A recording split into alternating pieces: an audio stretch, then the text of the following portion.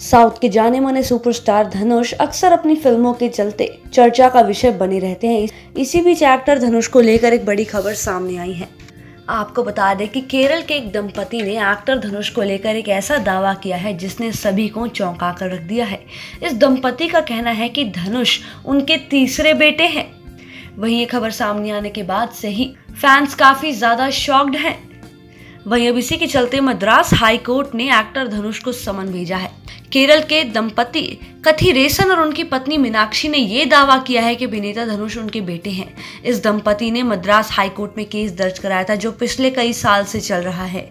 वहीं अगर रिपोर्ट्स की माने तो इस मामले में कोर्ट ने धनुष को समन जारी किया है। कथिरेसन ने अदालत में भी दावा किया है कि एक्टर धनुष ने डीएनए जाँच के फर्जी दस्तावेज़ जमा किए थे, जिसके लिए उन्होंने पुलिस जाँच की मांग भी की थी। कतिरेसन ने एक अपील दायर की थी, अदालत से उस आदेश को रद्द करने के लिए कहा जाए, जो साल 2020 में पारित किया गया था, जिसमें डीएनए रिपोर्ट को सही बताया गया था। इसी के साथ आपको बता दें कि ये दंपति धनुष को अपना तीसरा बेटा बता रहे हैं। इसी के साथ उस दंपति ने ये भी बताया है कि एक्टर धनुष फ़िल्मों में काम करने के लिए अपने माता पिता को छोड़ के चले गए थे। वहीं अब इस बात में कितनी सच्चाई है, ये तो समय ही बताएगा।